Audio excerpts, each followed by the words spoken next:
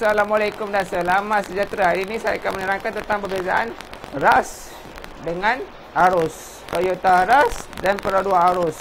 Apa perbezaan antara Toyota ras dengan Perodua arus? Memang nampak seakan sama dua tu, tapi banyak perbezaan antara dua. Dia lebih kurang sama tukar logo je jadi tapi dalam dia pun lain dia punya luaran dia pun lain sikit lah jadi kalau buat uh, dia punya ras dipasarkan kilang yang sama iaitu di kilang Pro 2 iaitu Rawang. Kita tahu ras yang arus punya dipasarkan kilang yang sama di kilang Rawang, Pro 2 Rawang. Jadi itu sebab ras eh arus ni boleh kita boleh kata ambil inspirasi daripada ras lah.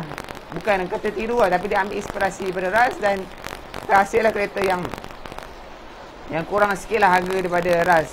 Jadi dia punya kemasan air, kemasan akhir dia adalah Bukit Raja Kelang. Dia ras dipasang kat Rawang, Rawang. Lepas tu kemasan akhir dia kat Bukit Raja Kelang. Enjin dan semua sama.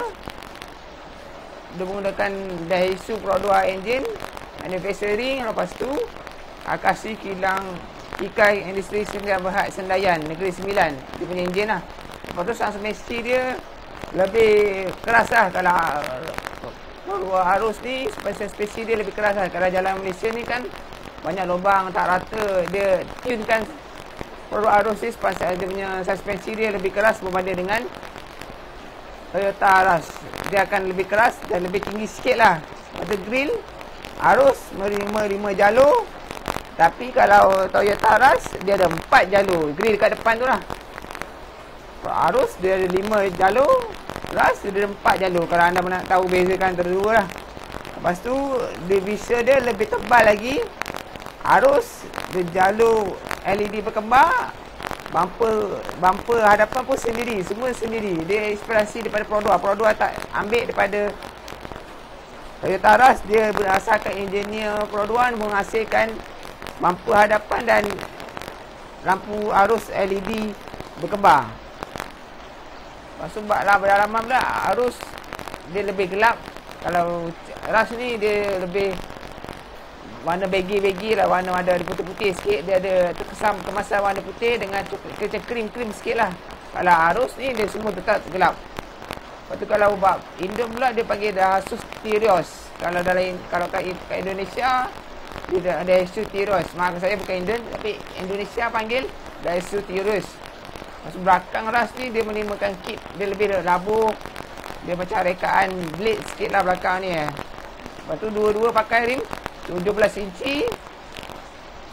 Dia dalam Dia punya dashboard dia Untuk Toyota Ras ni dia rumit lah sikit. Tapi ringkas Memang cu lah. Lepas tu Dia ada V untuk arus T untuk Dashboard uh, Ras.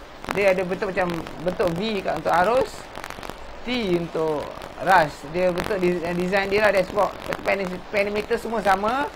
Panel aircon dia tombol arus, arus ni lebih dua lah ada dua lah. Kalau rush eh, silap makan saya.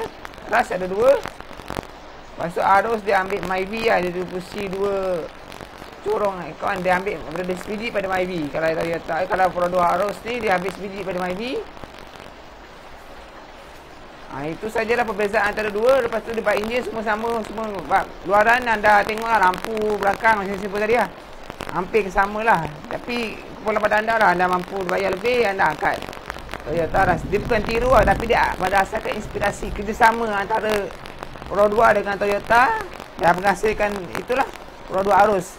Pada saya, dua-dua berbaloi. Anda nak ambil Pro arus ke Toyota Ras ke. Dua-dua berbaloi pada anda. Kita program bergantung pada anda lah. Anda yang buaya, anda yang bayar loan semua. Anda yang membayarnya Buat pilihan yang terbaik untuk anda. Dan jangan dah beli nanti menyesal Kemudian tak berguna lah. Kalau anda berkenan, pergilah survey.